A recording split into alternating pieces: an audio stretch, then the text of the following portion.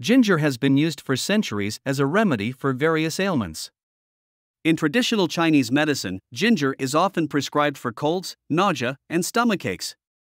Today, science has confirmed many of the benefits of ginger. Let's first talk about the benefits of using ginger and then we will talk about the don'ts of using ginger. Studies have shown that ginger can reduce inflammation and pain, making it an effective treatment for arthritis and menstrual cramps. Ginger is also helpful in treating nausea caused by morning sickness or chemotherapy.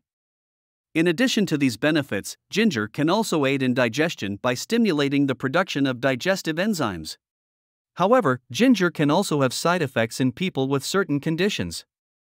Therefore, you should first ask a doctor, pharmacist, or other healthcare provider if it is safe for you to use ginger. Here are four don'ts of using ginger.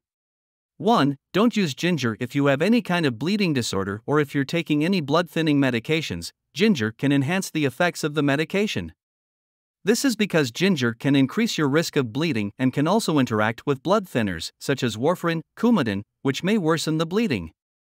If you have a bleeding disorder and want to use ginger, talk to your doctor first. 2. If you're pregnant, you should speak with your doctor about recommended ginger intake. Generally, it's agreed that pregnant women should consume no more than 1 gram of ginger per day. 3. Don't use ginger if you have gallstones or a bile duct obstruction, as ginger can cause additional issues. Do not take ginger supplements or consume large quantities of ginger without a doctor's approval. For, several studies have indicated that ginger may be helpful in diabetes management, but you should take precautions when consuming it. You should refrain from consuming more than 4 grams of ginger per day. Although side effects are rare, it is not uncommon to experience heartburn, diarrhea, and upset stomach if you consume ginger in large amounts. In conclusion, ginger can have many benefits for our health. When used in moderation, ginger can be a great addition to our diet and help us improve our health.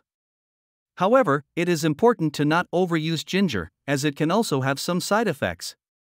It is also essential to consult with your doctor about using ginger if you have any of the conditions outlined above.